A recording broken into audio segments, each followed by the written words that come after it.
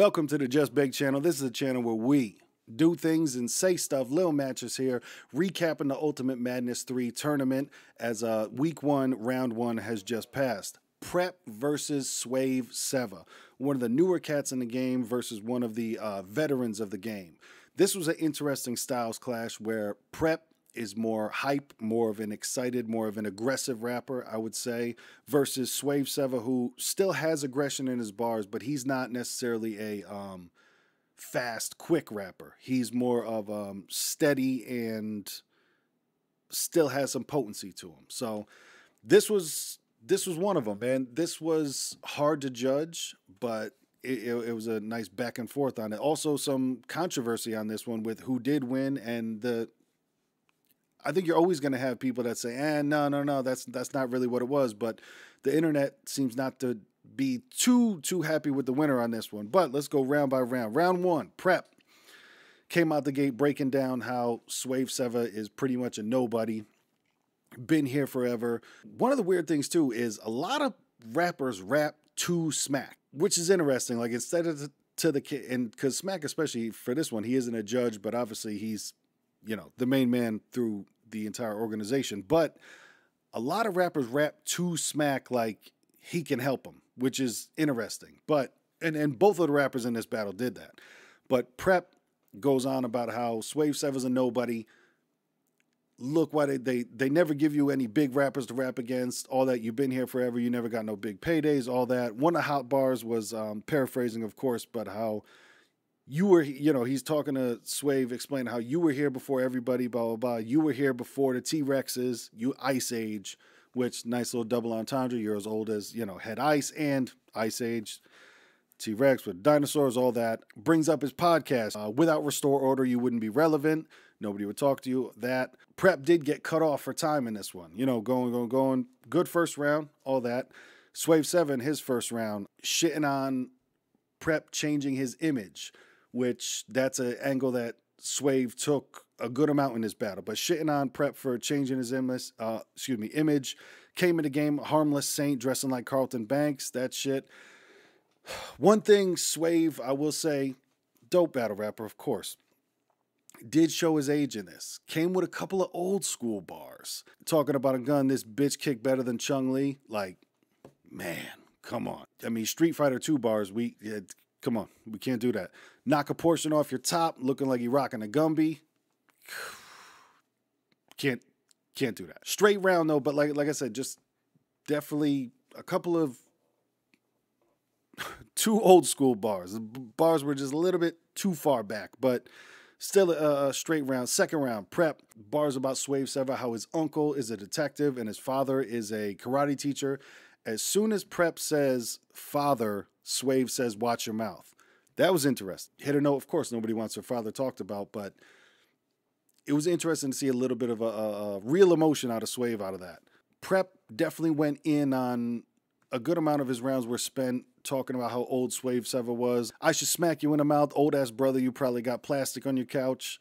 Those type of bars. Uh, you're five years away from putting your teeth in a glass. Shit like that. Not a bad round once again, but a lot of it was the one sided joint. And it's tough too because, especially in judged battles, you're going to have more personal bars because you're trying to beat that other rapper. There, there really can't be too many just generic bars, just generic battle bars. A lot of it has to be that you're going to beat your actual opponent. So I think for a lot of these cats, it might be their not not first time, but it's a different type of battle because it does have to be more focused. So so that's something to look at and to keep, you know, in mind while watching these. it, it is different than a normal just battle for battle's sake. Second round, Swave Sevah, hotline about Bernie Madoff. If you know Bernie Madoff, that basically ripped off so much of Hollywood and uh, Ponzi scheme with a bunch of money. Uh, have you die in the middle of your sentence like Bernie Madoff? If you know Bernie Madoff was in jail, died in the middle of a sentence. That was a hot bar. Swave in a second talks again about how Prep changed his image. More Carlton Banks bars, something you got to deal with. Talks about how his image changed once again, talking about the bow ties, things like that. Because yeah, Prep did come on on a different different image than he is now. Winter Soldier bars, in the first round, Swave had bars about Thanos and Loki and Marvel bars, something we got to deal with. So he went there. He had good bars, but it wasn't super clean. I'll say Swave definitely had. I don't want to even say performance anxiety because you're you're up there battling, you're doing your thing, but he definitely had stumbles to where not everything was as clean as it could have been. It was dope, but not everything was, you know, it wasn't a perfect like boom, I've knocked out my round, I went through it. But still, straight good round from both of them. Third round, prep Prep went off in the third round. I, I enjoyed his third round. Once again, though, a, a, lot of there wasn't really any difference to the material, and I will say from both of these battlers, there really wasn't a difference in the material from all three rounds. Third round prep, all that karate. Uh, you teach now you're the one on the chopping block. The chrome race 44, pick someone your own age. The karate and the age, karate and the age. And I understand you got to write about the other person, but it was um yeah. Even if me and Sevah ties, we go our own separate ways, shit like that. But the aggression in the third round from Prep was dope. He really put aggression into uh, what he was saying, and you could tell that his third round to me was his round that he had the most memorized and uh, was the most excited to spit. He really had um, aggression and delivery, super aggressive round, and he probably had the uh, line of the battle in this shit. I'll turn 15 minutes of fame to one moment of silence. Probably the best, you know, bar to battle. I would say easily the the, the best bar to battle.